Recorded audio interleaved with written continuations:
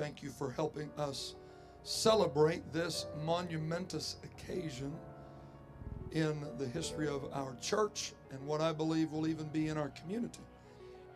I bring you greetings from the village of Plaster Rock. I think any time that we can uh, add a building to this magnitude, this size, it's outstanding. I would be remiss if I didn't mention two people in this audience today. Those two people you all know very, very well. Two great citizens of the village of Plaster Rock, and that's your bishop and his wife. I am deeply honored to be here today. This marks the beginning of construction for a new house of worship.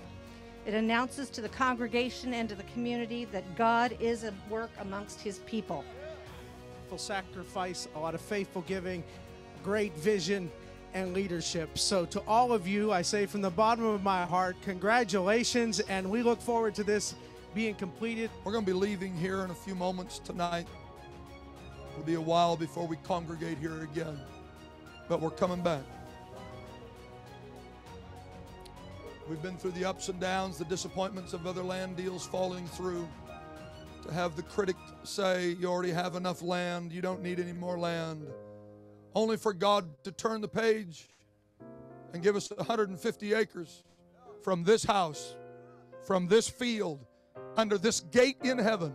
This is going to be where that takes place. This is a good land.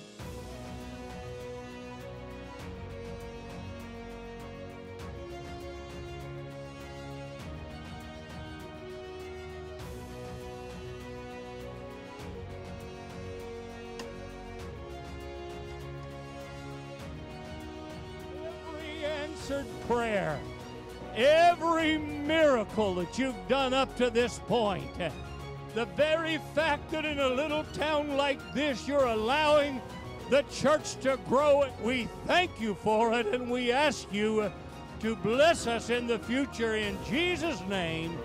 Amen and amen.